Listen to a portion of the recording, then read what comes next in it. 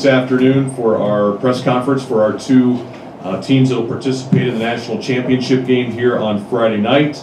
It'll be a 7 p.m. Eastern start time between the number two seed Southwestern Oklahoma State and the number five seed Lubbock Christian.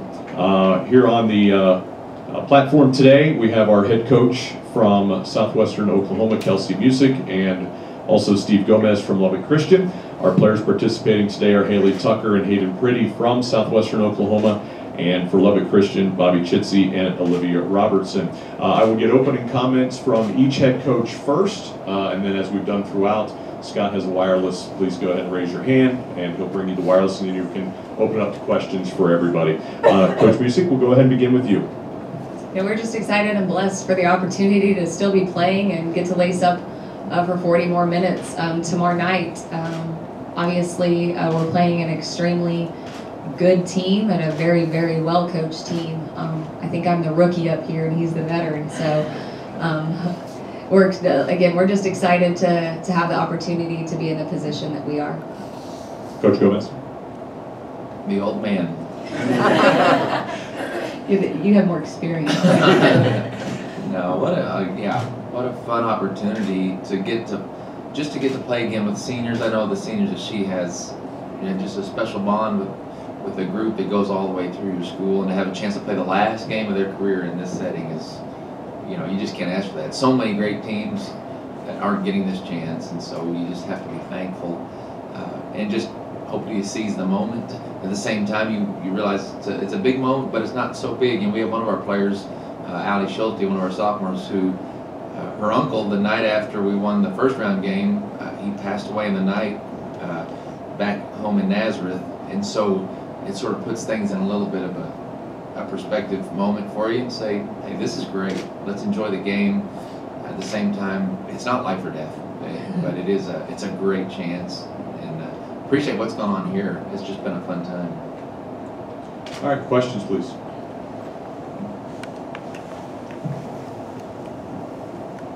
Question for the coaches: Do you feel like this is a must-win game? uh, this is an interesting matchup. Just running through the history of the four-year players. Started off uh, Southwestern Oklahoma State winning like by 40 then in Lubbock, the, the following year, LCU wins by like 40. Yeah. And then this year, it's a game where LCU loses an eight-point lead. The fourth quarter ends up being a two-point game. So you've had the full gamut. You've y'all have faced each other over the four years. Uh, question for the student athletes is, how's the respect factor when because when you look across uh, to each other, these are these are players that that when you face each other, it's it's you again. It's you again. You're still there. Uh, but at the same time, I'm sure there's been a growth of respect between the two programs. Oh, for sure. Um, you know, we've talked about Lubbock Christian, or I have. I mean, they're a tremendous team. You know, very well coached. They have amazing players who, you know, just know the game of basketball and are just very sound players. And, you know, like I said, they, they just know what they're doing out there. And so we respect them. We have the most utmost respect for them.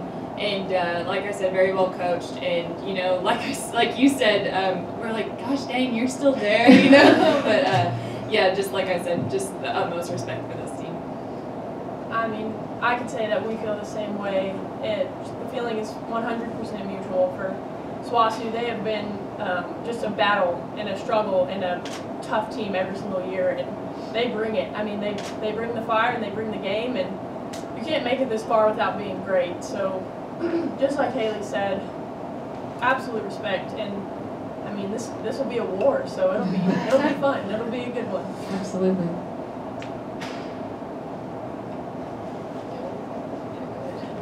Uh, coaches, I think you said her uncle died. Uh, is that right? Yes. Alice? Yeah. Did she ever? I mean, was there any discussion of her maybe going back home and not playing the rest of the tournament? you know, her dad, her mom and dad are here, and her dad has even stayed. And yeah, I'm finding out now. I'm not sure if he's going back today or not, depending on when the funeral is. If it's gonna be Monday, he'll stay. If it's Saturday, he'll go. Uh, but for her, no, uh, it wasn't. I, you know, I didn't even say, Allie, do you want to go home? Uh, she's committed to being here, and uh, so that it wasn't even brought up of flying her home right now.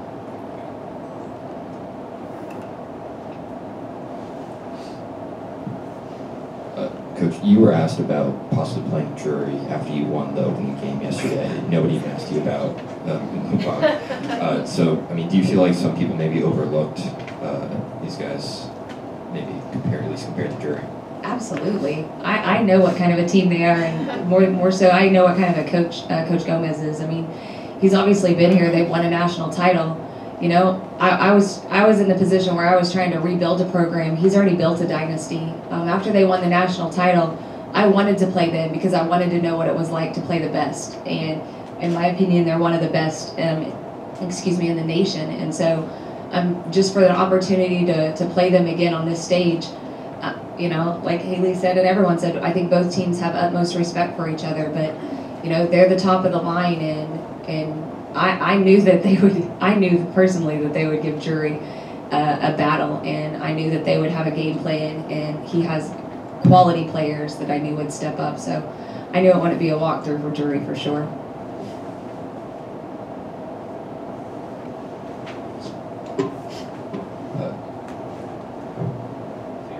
Oh, yeah, I remember. Okay, sorry. Uh, you said yesterday that you had told her earlier this season, I think before you guys even played, that you thought that this was a team that could win a national title.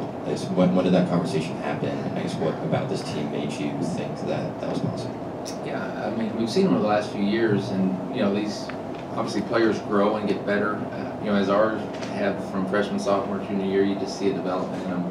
Uh, and their team, like early in the year, you know, I would not have projected our team at that point to be where we are now. We weren't at a level yet to play the way we're playing lately. But you know, they have. They've been that way all year. Just their length, their their uh, versatility, you know, their discipline. Know, they just do what they do really, really well. It's not like they have to do 30 different things on offense. They just can play together. You know, there's a cohesiveness with them, and uh, you know, she's just done great building a system there that has flourished. So I, I just, I mean, I remember telling her that, and I even sent them a note after we played them to their players saying, "You guys have a chance to be special." And uh, so it's been neat to see, and now it's like, well, Brett, now we got to play. so I hope they're not too special.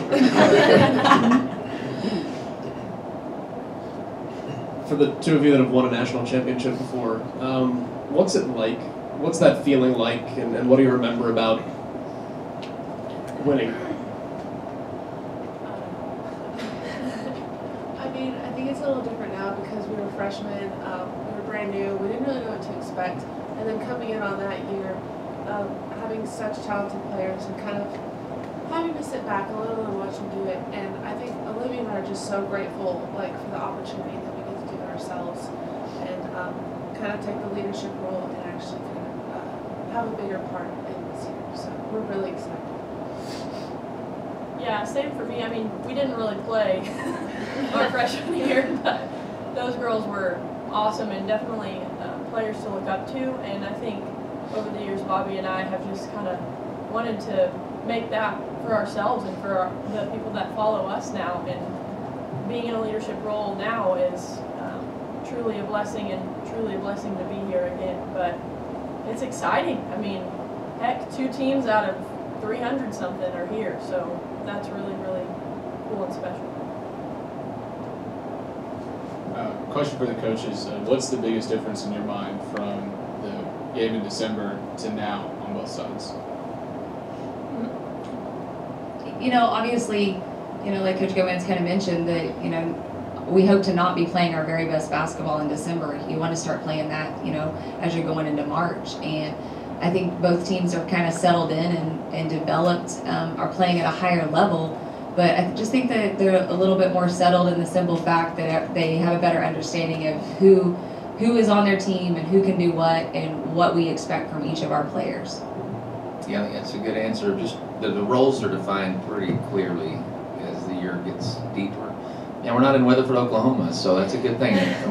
We're not going to get to eat at Luigi's, the Italian food place there, which we love.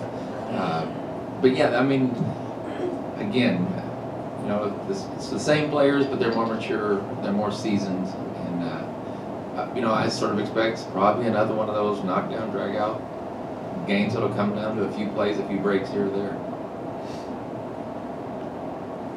Same-ish question to uh, Haley and uh, Hayden. What do you imagine it would be like to win a national championship, and uh, how does that sit in your mind for 48 hours while you have to wait from getting there to actually being able to play in it? Um, I just know going into college, like I remember I was in the meeting with Coach Muse and Coach Anderson, and my dad actually asked the question. He said, "What do you need to win a national championship here at SWOSU?" And when he asked the question, like, yeah, everyone thinks about it, but to actually be here and playing for it is a whole another thing, and it's just like it's an honor, honestly, to be able to be here. It's it's not easy, and like I remember my dad, and my mom always saying, it takes a lot of skill, but a little bit of luck to be here. And while we've got that luck, we just need the skill to finish. But we are happy to be here. So. Yeah, you know, um, getting recruited out of high school, that was my main thing. Was I wanted to win a national championship. I wanted to be a contender. And last year we came up short, and so this year, this is our year. I mean, it's our senior year, and so you know, Coach Muse said that this was a special group and that, you know, we needed to produce and to be able to, you know, play for national championship, that's what we have to do. And I'm just, you know, even so grateful to even be in this position and, um, you know, I'm playing against a very well coached team, very great team against Lubbock Christian. So I'm just, we're just very blessed right now.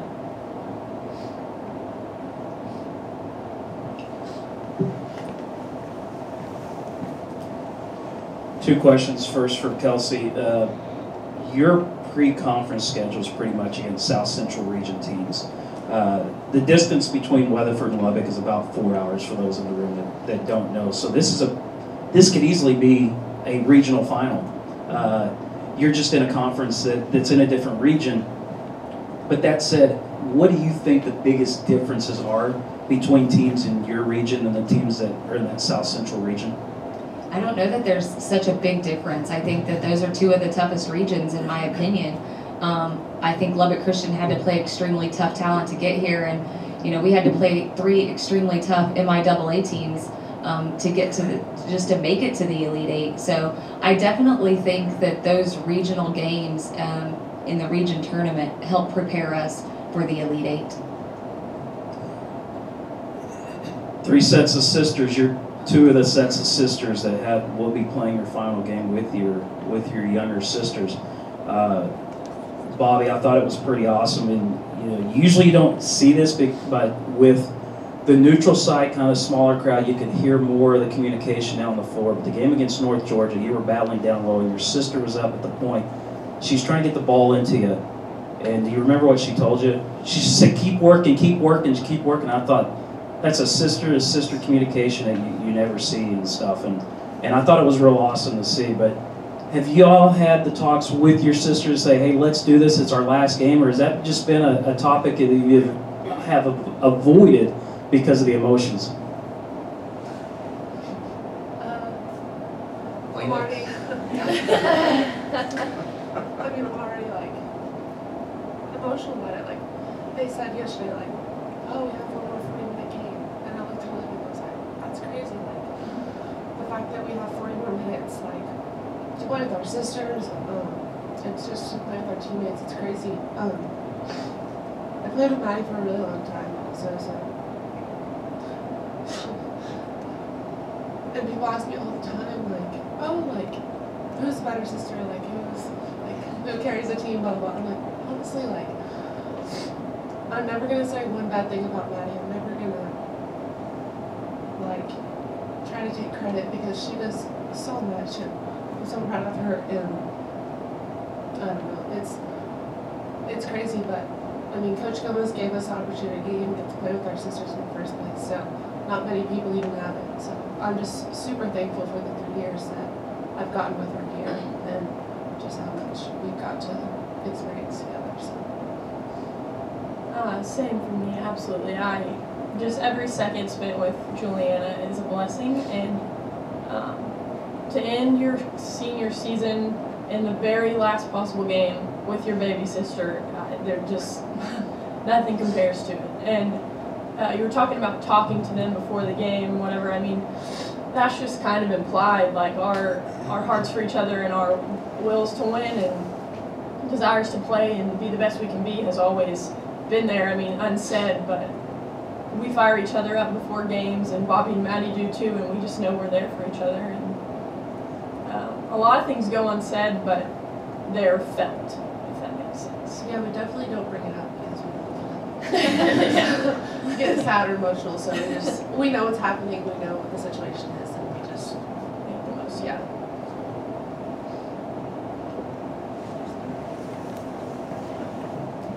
So, Olivia and Bobby, as coach said that at that point in the season he didn't really think like think you guys were there yet. Um, but as, at what point did you guys feel that this was possible?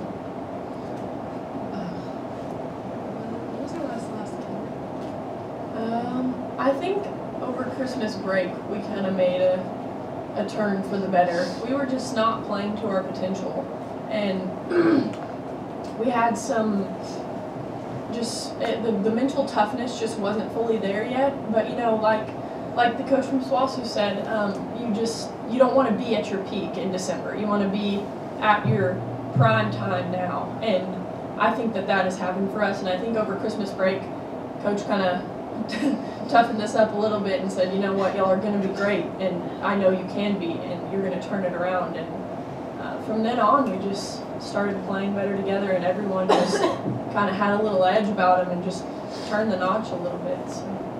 Yeah, I definitely, I definitely think it was Christmas break. Um, we just had some team stuff happen, and uh, and our team as one decided to make the most out of it and make it the best situation that we possibly could.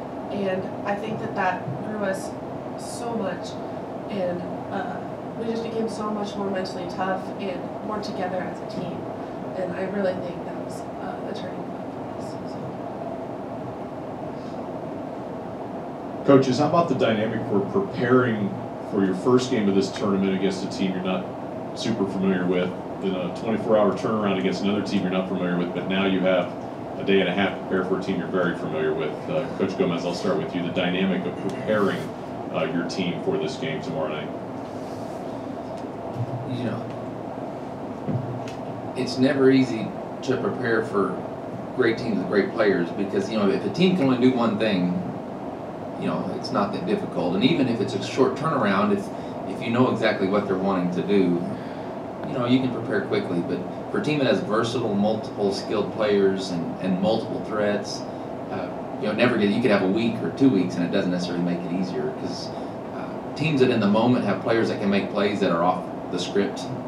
You know, I mean that's that's what's hard to to ever know what's going to happen. You just have to have kids that are, you know, emotionally, mentally quick and nimble enough to adjust and to not and not go into a, an emotional fog for three possessions. uh, You know, and just handle it. So we just got to learn to handle whatever comes tomorrow night, and knowing they're going to make some good plays, and hopefully we'll make some good plays, and and just stay steady. And so, uh, you know, again, the familiarity is, as it's helpful in a way. At the same time, that you don't want to think they're going to be the exact same they've always been. You know, we have to be ready for for anything.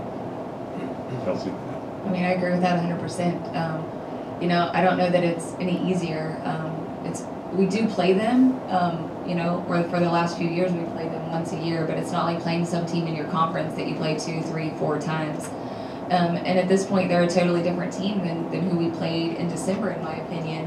And he's right when they they have they can go into their bench, but they, they have just such quality players who can do multiple things. Um, that makes it it makes it hard to prepare for to a certain extent. Any further questions? Okay, a reminder, uh, both teams will practice today. If uh, anybody has any uh, media requests, you can go through the sports information departments of both teams. 7 p.m. Eastern tip tomorrow night, Division II National Championship game. Uh, coaches and ladies, congratulations on getting here. We can't wait to see the game tomorrow night. Thank you. Thank you.